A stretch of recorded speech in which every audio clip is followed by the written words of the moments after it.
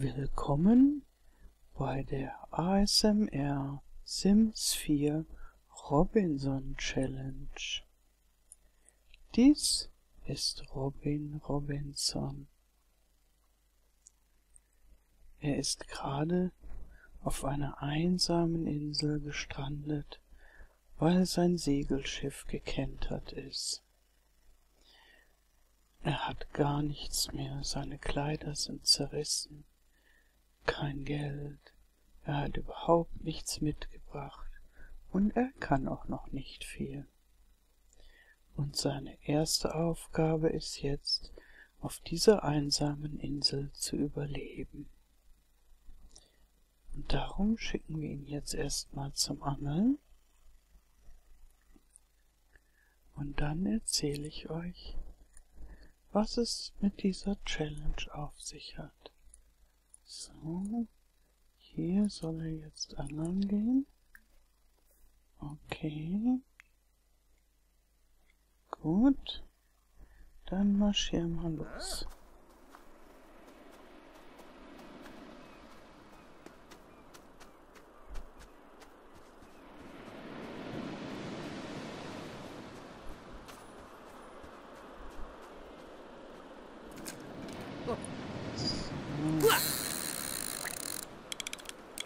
lassen wir Ruhe angeln. Ich erzähle euch über dieses Video. Zunächst mal, es ist ein ASMR-Video. Es dient also der Entspannung und soll beim Einschlafen helfen.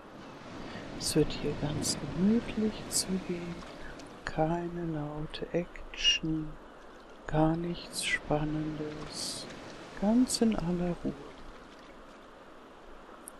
Und es ist ein Sims 4 Let's Play. Sims 4 ist ein Spiel, das mir viel Spaß macht. Und da kann man das Leben von Leuten spielen und Häuser bauen. Oh, er hat einen Fisch gefangen. Hm, nein, doch nicht. Aber er wird es weiter probieren. Ja, und diese Robinson Challenge, die habe ich mir ausgedacht, nachdem ich von anderen Challenges sehr inspiriert war und die auch gespielt habe zum Teil. Rex to Riches zum Beispiel und eine Insel-Challenge gibt's und Castaway so viele mit dem Thema, dass man als habe nichts irgendwo strandet und sich durchschlagen muss. Na, jetzt steht hier.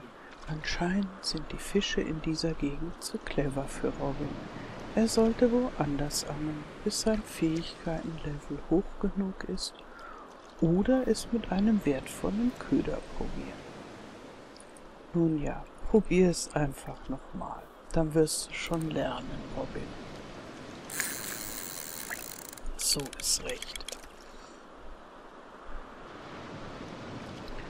Ja, und anstatt ihm eine künstliche Insel zu bauen, dachte ich, nehme ich einfach die wunderschöne Insel von Windenburg und schmeiß dort alle bisher dort wohnenden Leute raus, lass die woanders wohnen, mach deren Häuser platt, so dass es eine einsame Insel ist.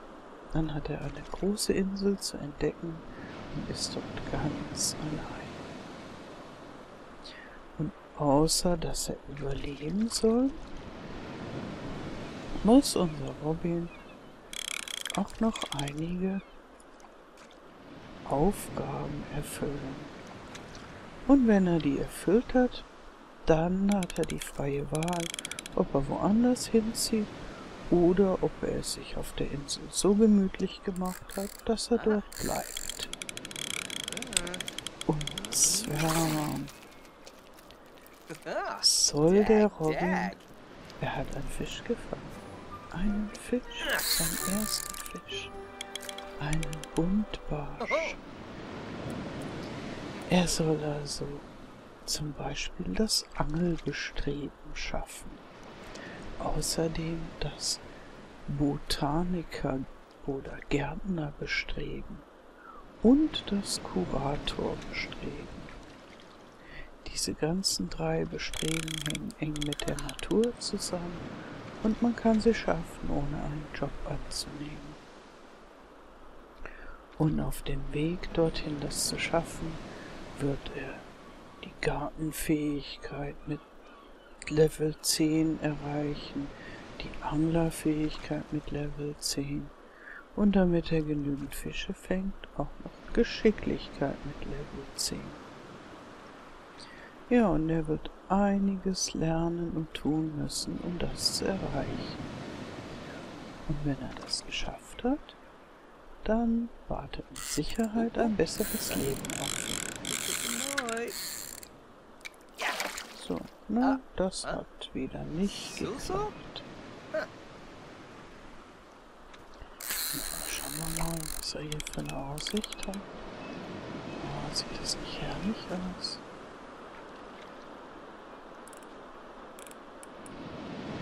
Da ist die Brandung.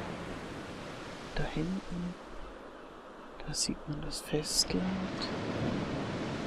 aber das ist wohl für ihn zu weit zu schwimmen. Und dass da ein Segelboot äh, fährt, das ignorieren wir einfach mal. Es geht jetzt also nicht um, dass er sofort gerettet wird, sondern er soll sich auf dieser Insel schön einleben.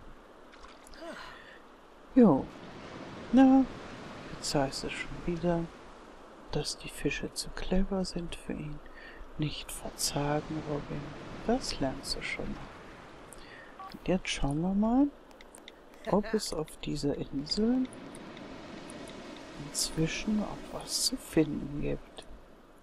Diese Sachen zu finden, zum Ausgraben und Pflanzen, die brauchen nämlich immer ein paar Stunden oder Tage. Bis die heranwachsen. Darum habe ich ihn nicht sofort suchen lassen. Aber hier ist offenbar was. Ja, er hat was gefunden. Super gut. Für 60 Simoleons. So, noch geht's ihm ganz gut. Lassen wir ihn mal weiter suchen. Hier ist übrigens ein Busch, den kann er zum Pinkeln nutzen. Aber sonst ist hier gar nichts. Kein Grill. Auch diesen Feuerplatz kann man leider nicht zum Grillen nutzen. Die Pflanzen, da kann er immerhin schon ein bisschen Löwenmäulchen sammeln. Und hier kann er einen Frosch sammeln. Jetzt suche ich mal so ein paar Sachen für ihn im Voraus. Und dann gucken wir, wie er das einsammelt. Hier sind lauter so Steine zum Ausgraben. Was ist hier für eine Pflanze? Oh, da wachsen Brombeeren heran. Das ist sehr gut. Brombeeren bringen nämlich viel Geld. Ich will ihm jetzt keine großen künstlichen Grenzen setzen, die mit dem Spiel sonst nichts zu tun haben, sondern ich dachte mir, dass er einfach mal den Regeln des normalen Sims-Spiels folgt. Das heißt, er darf fast alles tun, was er will. Er muss nur auf der Insel bleiben und er darf sammeln und anbauen und Geld verdienen. Und von dem Geld, da können wir ihm im Baumodus was Schönes kaufen. Ah, hier die Brombeeren übrigens, die brauchen lange, bis man die ernten kann. So. Jetzt gehen wir hier nochmal Das ist hier sein Grundstück. Da sieht man bisher nur den Briefkasten. Das ist hier Glockenblumen. Da entstehen auch Brombeeren. Sehr gut. Gibt's hier was zum Buddeln? Ja, hier gibt's was zum Buddeln.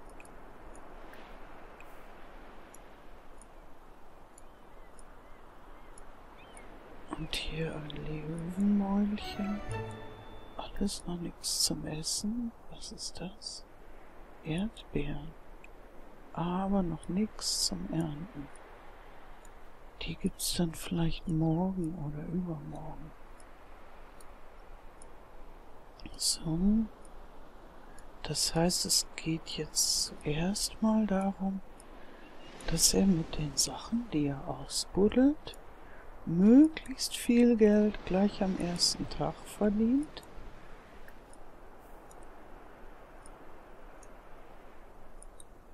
um sich davon was zu essen zu kaufen. Ich dachte an eine Kühlbox.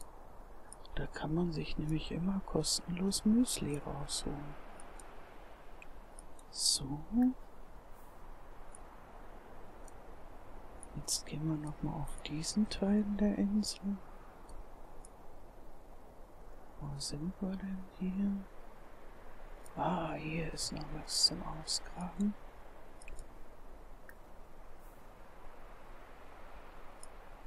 Mit der Ausgraberei. Ah, ein Moment. Er soll ja auch Kurator werden. Darum wechsle ich hier mal das Bestreben. Denn wenn man die Bestreben immer mal wieder wechselt, kann man insgesamt alle drei schneller erfüllen. So, der muss mal pinkeln. Am besten bestäubst du da diesen Busch. Und jetzt gucken wir mal, wo er ist. So und schau mal, wie er so läuft.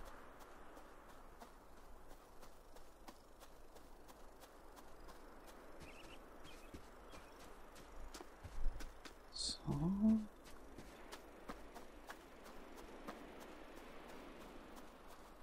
Da geht er zu dem nächsten Stein zum Ausgraben.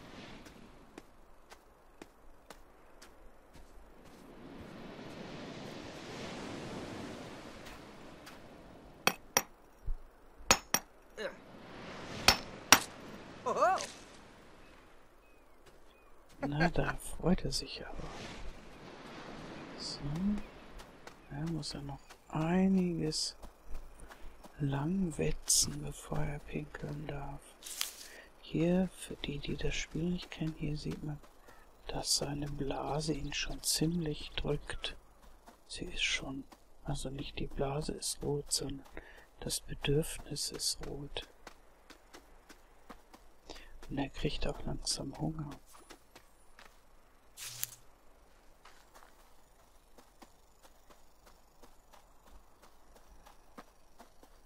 Das heißt, wir müssen uns bald um seine Bedürfnisse kümmern.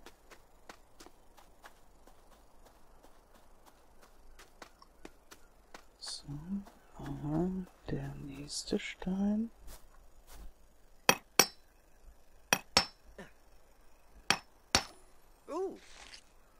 Einen Rubin hat er gefunden. Es ist natürlich in der normalen Welt wäre das völlig widersinnig, dass er auf einer einsamen Insel seine gefundenen Steine und Frösche und so verkaufen kann und sich damit eine Kühlbox kaufen kann. Aber das ist halt die Sims-Welt und da gelten andere Naturgesetze.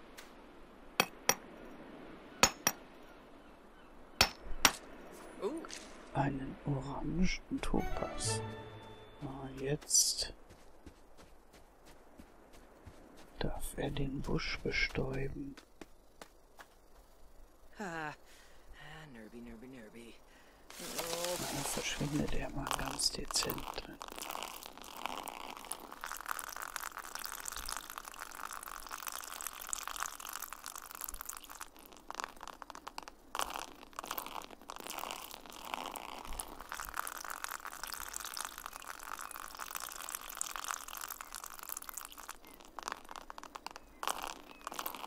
Das dauert ja lange.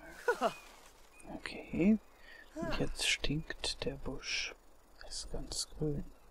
So, jetzt darfst du mal nach Hause gehen, obwohl dein Zuhause natürlich noch nicht viel hergibt. So, das ging glaube ich hier lang. Ja, wir mal. Ich glaube, da gab es noch Frösche, also noch nicht nach Hause. Noch einen Frosch suchen. Hier ist übrigens so eine Bank, da könnte er schlafen. Frosch, Frosch. Ja, Tatsache, hier gibt's noch einen Frosch. So.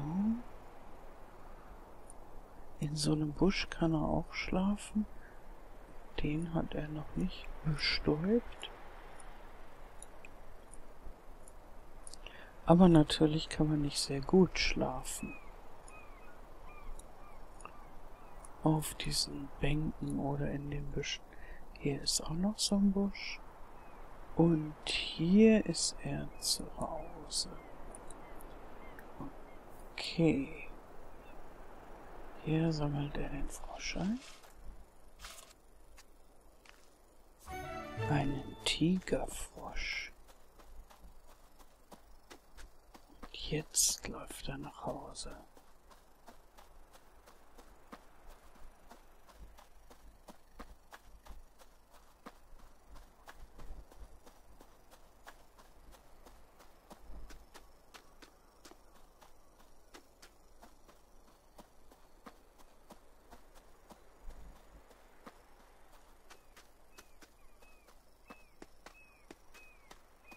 Die Landschaft auf der Insel gefällt mir ausgesprochen gut.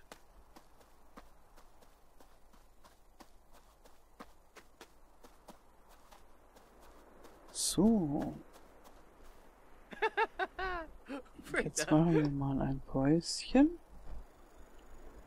und einen Kassensturz. Jetzt gucken wir mal, was er alles so eingesammelt hat. Jede Menge. Zuerst gucken wir mal die Frösche. Tigerfrosch 35, Surfer, Eier, Pflanzenfrosch und züchten die mal. Und hoffen, dass wir dabei einen teuren Frosch, einen Sonnensurferfrosch. Gut, dann verkaufen wir die Frösche noch nicht, außer vielleicht auch den Blattfrosch. So. Und hier haben wir, ich glaube, das sind Metalle, das Flamingonium für 75, Sozialit für 80 und hier ein Fossilstein, den muss er erst aufmachen und diese Zeitkapsel lassen wir ihn auch mal aufmachen. Der Rubin kostet nur 30. Der Orangen Topaz 15. Die Frische wollen wir erstmal lassen. Denn dann können wir vielleicht noch einen Sonnensurferfrosch züchten. Und dann können wir mehrmals täglich 125 Simoleons durch Züchtung verdienen. Der Buntbarsch, den kann man so leider nicht essen. Der bringt nur 9. Dann haben wir ein Hämatit für 60. Und ein Simtanium. Ich finde diese Namen immer sehr lustig. Ein Simtanium. Okay. Jetzt lassen wir ihn mal die beiden Dinge aufmachen. Sehr gut. Da hat er ein lächerlich winzige T-Rex-Ärmchen für 45 Simoleons gefunden und eine Dr. F. Das sind solche Sims-Trophäen. Die bringt 75. Das ist überdurchschnittlich. Meistens bringen die weniger. So, wie viel haben wir denn zusammen? 489. Davon können wir ihm auf alle Fälle schon mal eine Kühlbox kaufen. Kühlbox. So, dann nehmen wir natürlich die billigere. 145. So. Und pinkeln kann er im Busch. Und schlafen kann er auf den Bänken erstmal oder in einem anderen Busch. Was wir hier noch gar nicht haben, ist etwas für die Hygiene. Darum denke ich, wir kaufen ihm noch das billigste Waschbecken. Dann kann er sich nämlich mit Hände waschen und Zähne putzen so einigermaßen sauber hinkriegen. Und jetzt haben wir noch 224 Simoleons. Das reicht nicht für Betten, nicht mal für die unbequemsten. Und es macht auch gar nicht so viel Sinn, so ein unbequemes Bett zu kaufen. Dann jammert er nur und wir müssen ihm bald ein anderes kaufen. Also dieses Einzelbettini-Träume sollten wir für morgen anstreben. Für den nächsten Tag. Und lassen ihn diesmal auf so einer Bank schlafen. Okay. Dann schauen wir mal, dass wir ihm was zu essen geben. So, mein Lieber. Jetzt kannst du eine schnelle Mahlzeit essen. Und zwar ein Müsli.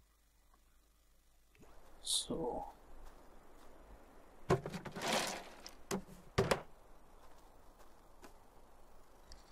Jetzt können wir ihm beim Essen zugucken.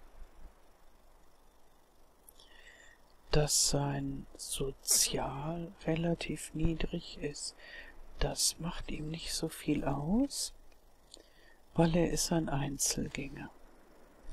Also er hat die Eigenschaften Einzelgänger, das erleichtert ihm das Leben als Robinson, er liebt die Natur und er ist fröhlich.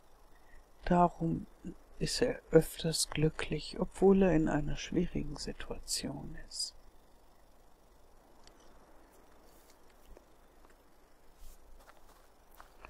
Oh, jetzt kann er das gleich abwaschen. Dann lassen wir ihn vielleicht noch eine Milch trinken. Da ist sein Hunger ganz gestillt.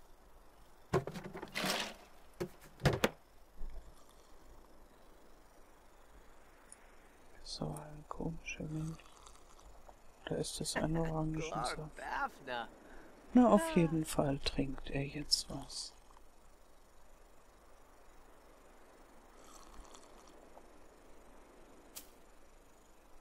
So. Räum das mal auf. Ja. Genau, in deinem neuen Waschbecken. Ja, sehr gut. Jetzt kannst du dir da noch die Hände waschen und die Zähne putzen. Wenn wir da gleich anfangen, seine Hygiene zu verbessern, dann wird die gar nicht erst so schlecht. Und dann muss er sich nicht zehnmal hintereinander die Hände waschen, sondern nur zweimal hintereinander. Und später kriegt er dann noch eine Dusche.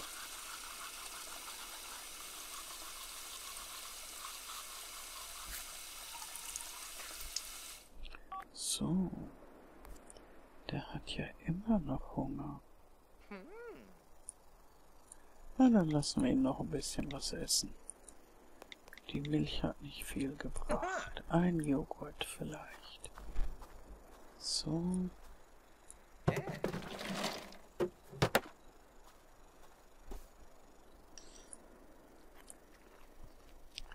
Während er isst, schalte ich mal ein neues Bestreben an, nämlich den freiberuflichen Botaniker. Denn ich lasse ihn gleich mal ein paar Löwenmäulchen pflanzen. Yes. Oh, yes. Yes. Darum habe ich die auch noch nicht verkauft. So. Wo sind denn die Grenzen seines Grundstücks? Wahrscheinlich hier, wo der Briefkasten ist. So, du räumst jetzt erstmal deine Müslischale auf. Und wir pflanzen mal vier Löwenmäulchen. Das ist für den Anfang schon mal ganz gut. So, okay. Pflanzen.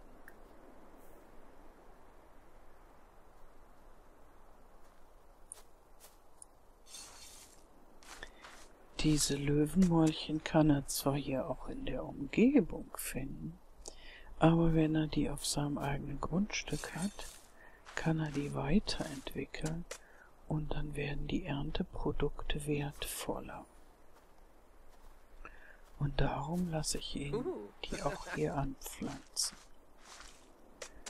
Und später können wir in die Löwenmäulchen auch noch andere Pflanzen reinkreuzen. Und dann kriegt man Drachenfrüchte, die sehr wertvoll sind. Kuhpflanzenbeeren. Aber jetzt erstmal bewässern, mein lieber Robin. Dieses eine können wir nochmal verkaufen. So. Sehr schön. Ja. Oh.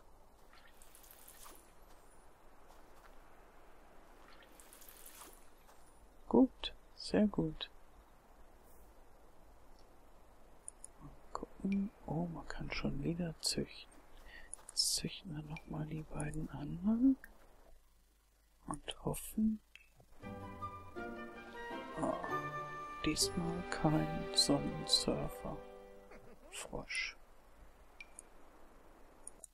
Das klappt leider nicht bei jedem Mal. Da muss man ein bisschen geduldig sein.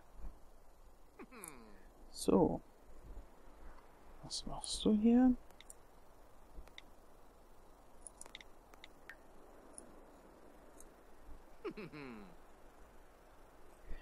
Ich schlage vor, du gehst jetzt mal schlafen, lieber Robin. Und vielleicht ist es am bequemsten in diesem Busch, den du vor deinem Grundstück hast. Können dich die Wellen in den Schlaf wiegen. So. Hier ein Nickerchen machen. Oder gleich mehrere.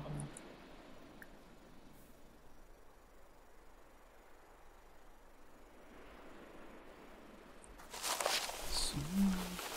Ja, der Ruhe. Da schläft er jetzt. Auch du kannst jetzt ganz gemütlich einschlafen. Und beim nächsten Mal erleben wir den nächsten Tag von Robin und wie es mit ihm weitergeht. Schlaf gut und träum was Schönes. Gute Nacht.